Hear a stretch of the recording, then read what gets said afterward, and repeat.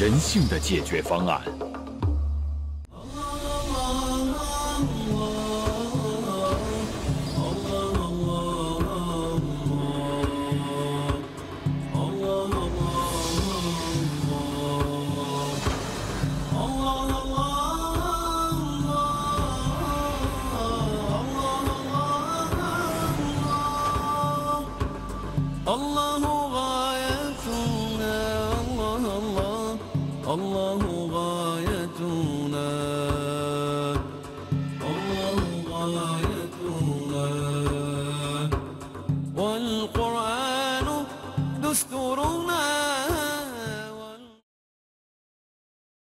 الحمد لله رب العالمين والصلاة والسلام على رسوله وعلى آله وصحبه أجمعين بعد السلام عليكم ورحمة الله وبركاته الحمد لله 今天我们交流的课题啊，就是《伊斯兰概论》。实际上讲《伊斯兰概论》，也就是介绍一下伊斯兰的知识结构。 伊斯兰知识结构可以从三方面进行表述。第一方面就是我们的信息论，伊斯兰的信息论，也就是我们信仰的来源，确立正确信仰的根本。这一部分呢，决定了我们正确的信仰。在这个范畴里边，一旦发生错误，就会出现最严重的罪恶，举办组的罪恶。第二部分介绍伊斯兰的关系论。所谓伊斯兰关系论，也就是道德论，因为我们恰如其分地处理好种种关系，就是在显示我们纯洁的人性和完美的道德。我们。穆斯林处理各方面的关系，是以族谱关系为前提的，因此呢，这一部分主要是论述创造人类的主宰和被创造人类之间的最正确的关系，它决定了我们穆斯林的完美性情。在这方面发生错误，就会导致异端。第三部分内容就是我们的控制论。所谓控制论，就是我们的思想言行、言行法度由我们的非类的条件、瓦制部条件、训练的条件来进行规约控制。那么，在我们经训的指导下，我们严循真主的法度，遵循圣人的道路。必然体现一种高尚的生活。无论在哪个层次上，如果发生错误，必然导致干罪。所以，我们从这三方面，每一方面里边呢，有几个重大的命题，都是和我们信仰基础密切相关的。譬如第一方面，伊斯兰信息论，也就是 Haber，我们的信仰。从何而立？从何而来？也就是讲伊斯兰的信源是什么？在这一部分里边呢，啊，主要介绍的就是伊斯兰信仰唯独来自安拉塔尔拉的瓦哈伊指示。那么它涵盖了几项内容。第一个就是要分清宗教知识和世俗知识之间的区别。现在在很多的方面，我们看到很多的文章，对于这个重大的原则性的区别搞不清楚，因此常把汉文里边的启示这个词和沃尔义发生了混淆。这样的话，啊，就导致了我们信仰上的模糊不清、模棱两可、似是而非。那么世俗知识，它的来源是人的思维的产物。它不是外来的信息，虽然也是真主的赐予，但是呢，世俗知识是来自我们的观察、分析、综合、判断、验证，主要啊体现为科学探索，属于世俗知识的高深部分。那么信仰知识呢，它不是我们思想的产物，它是来自外来的信息，是来自最高一层天，阿拉胡塔尔拉通过独立的天使杰布莱来，天使传达给我们使者，由使者传达给全人类。所以，沃尔伊使者的沃尔伊，不是我们圣人自己的思想，他是传达的阿拉夫塔尔拉的信息。所以，在这方面，啊，决定了我们正确的信仰和我们伊斯兰信仰与其他所有信仰不同的根本的因素。那么，在这一部分里边，它就联系到我们的思维。思维性质的分析，什么叫做感性知识？什么叫做理性知识？什么叫做非理性知识？那么它的基础就是我们人类的感觉、感官所反映的外部的信息，也就是我们有限的感官视、尝、听、闻、触五种感觉所反映的外界的声、光、色、电。所有刺激我们的信号，在我们头脑里边发生的心理反应，由于感觉它的种类限制了感觉的范围，每种感觉的语线又限制了我们感觉的深度，因此建立在感性知识上的思维、逻辑推理、理性知识，它不能够判断。超越阿拉夫塔尔拉给我们感知界限的啊限制，在古兰经里边，阿拉夫塔尔拉提到这是他们知识的极限，也就是说，我们思维知识是有极限的，是有限度的。那么，确立正确的信仰要以终极真理判断为前提，凭着人的知识。感知的范围不能够判断任何一条终极性真理啊！什么叫终极性真理？也就是说，我们简单的讲，时间的本质是什么？物质的本质是什么？空间的本质是什么？宇宙为什么实现？它归源在归回在什么地方？人的如何是什么？这些个问题等等，都属于终极真理。人的感知限制，无能判断任何终极真理的最后的真实面目。所以，凭着人的思维，不能确立真正的信仰。所以，我们的伊斯兰的信仰，它不是来自思维的产物，而是来自阿拉和塔尔拉给予我们的。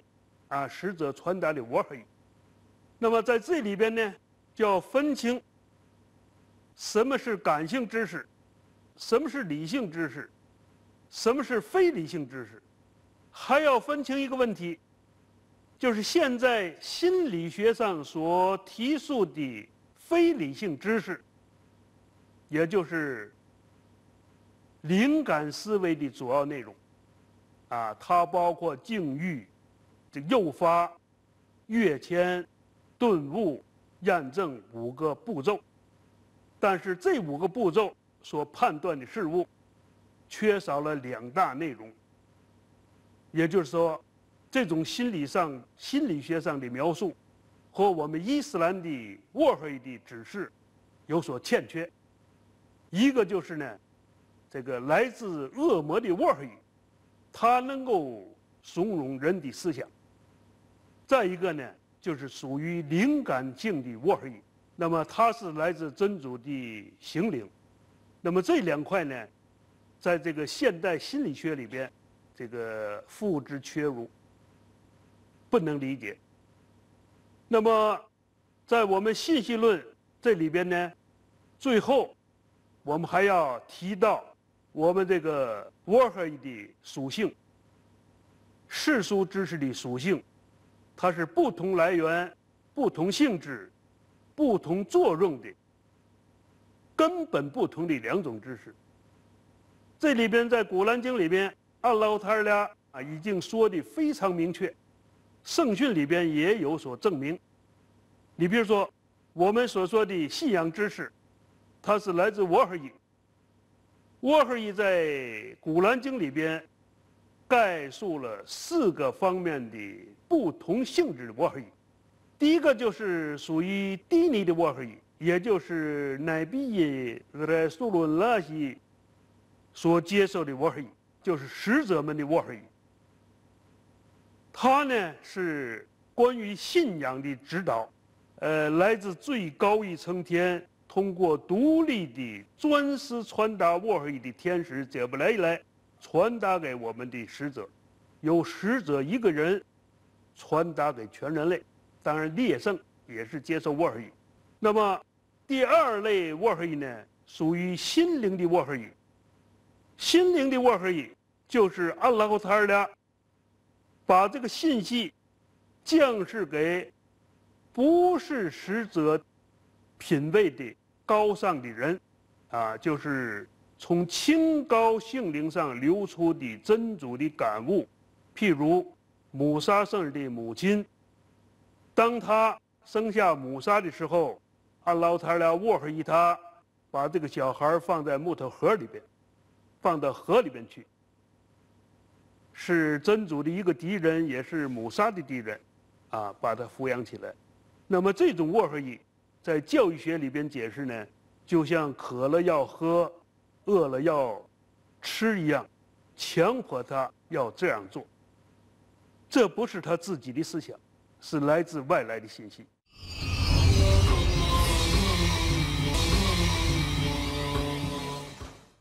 那么第三类沃尔伊呢，属于动物的沃尔伊。动物的沃尔伊，阿拉塔尔拉在《古兰经》里边也是说的非常明确。阿拉以蜜蜂为例，他说：当初阿拉沃尔伊蜜蜂，你从山上在山上树上或人搭的蜂房里边筑巢，在每一种花上来这个捕食蜂蜜。那么这种沃尔伊呢，呃，在生物学里边往往被称为天性、本能。实际上，这种称法是我们理性所不能接受的。譬如这个蜜蜂，它本身所产生的一些个发生的一些个奇异的现象，直至现今最前的昆虫学研究。也承认，在蜜蜂身上还有很多为人不知的奥秘。所知道的这些事情，就已经展现了一种非常奇特的，不可能是他自己总结的经验。你比如说这个蜂房，它是六边形连接铸造。那么这个蜂房铸造蜂房的材料。只有蜜蜂身上自己产生的蜂蜡，其他材料不能取代。而且六边形呢，它是刚性最强、材料最节省的一个经济点。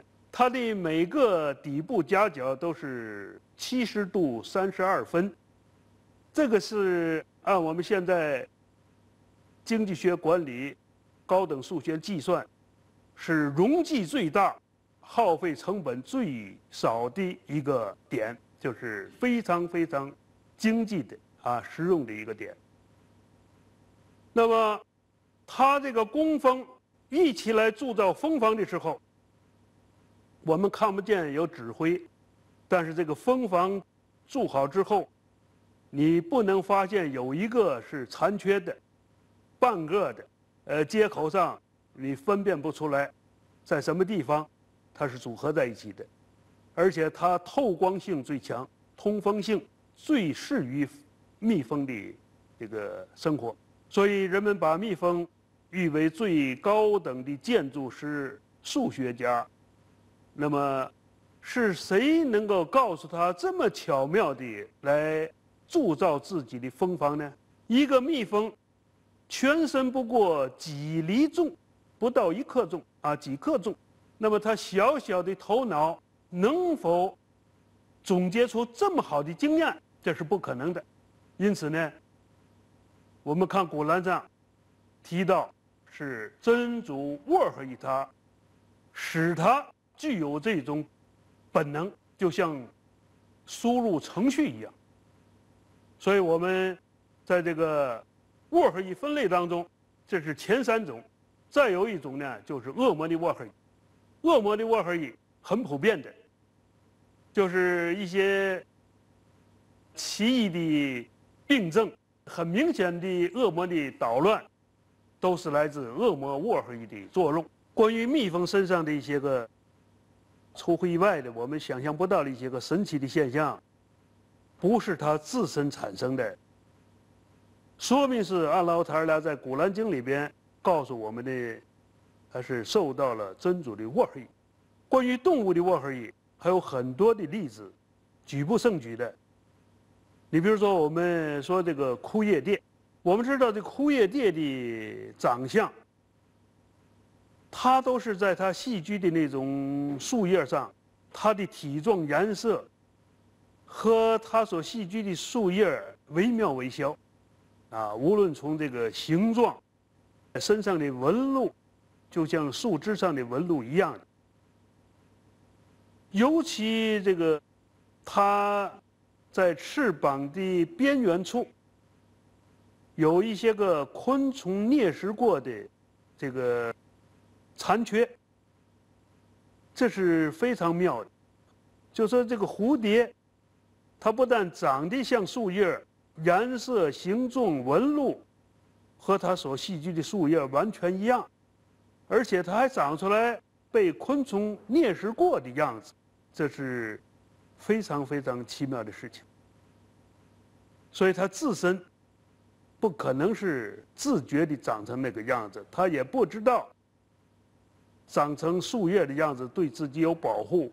即使它知道，也不会指导自己的身体那样产生变化。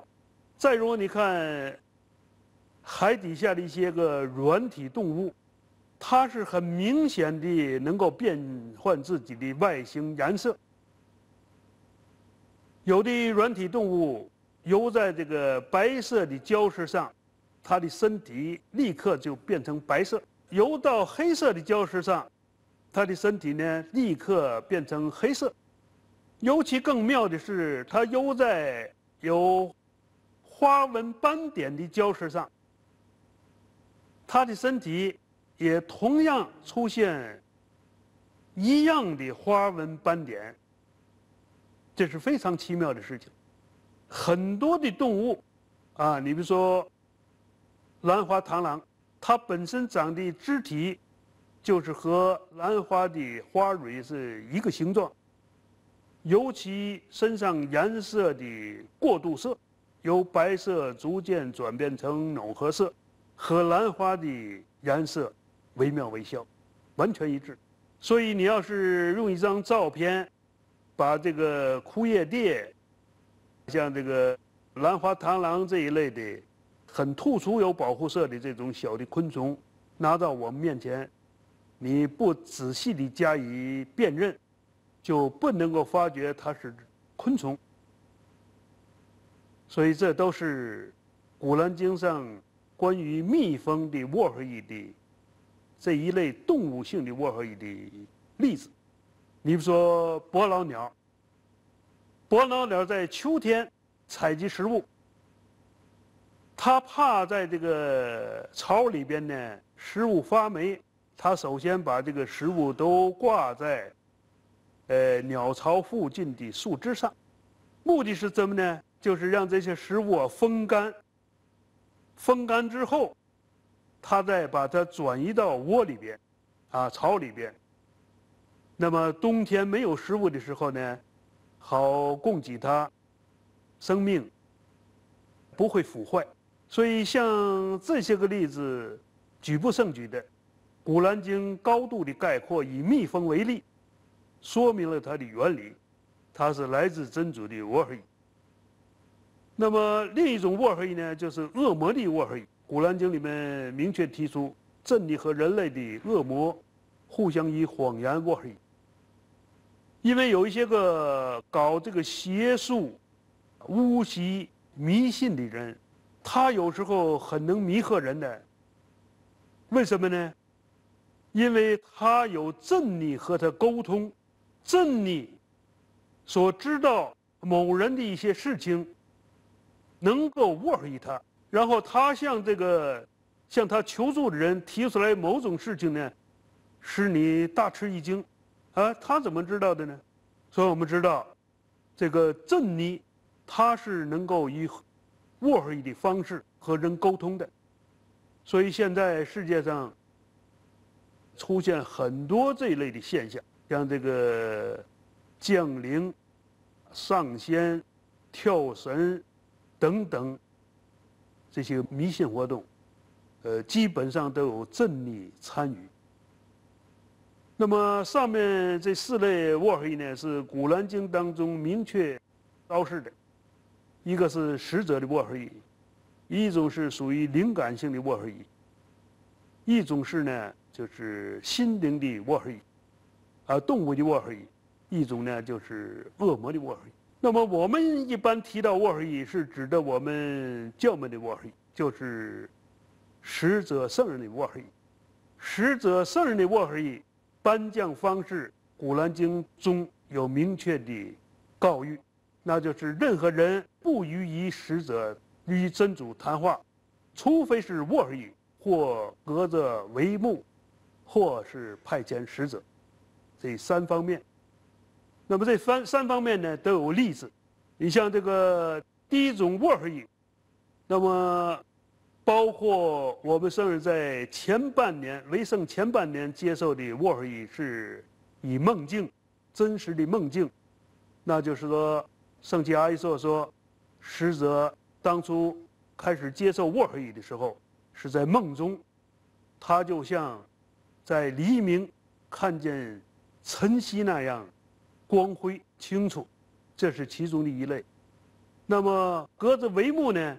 古兰经里面提到，母沙圣人看到了火，他对家属说：“我确实发现了火，或者我从它上能给你们带来火把，或者呢，我从它上能得到引导。”那么，当母沙圣人接近火的时候，阿劳塔尔说：“我确实是你的养主，啊，你脱下双鞋，你现在是在圣古图瓦，你接受我而已。”这是这个火，就是属于慢藏啊，属于间隔。再一种派遣使者，我们都知道最著名的哈迪斯杰布雷的哈迪斯啊，那就是派遣使者直接和我们圣人交谈的沃黑。阿斯拉马尔莱，我拉哈马托莱，我拜了卡托。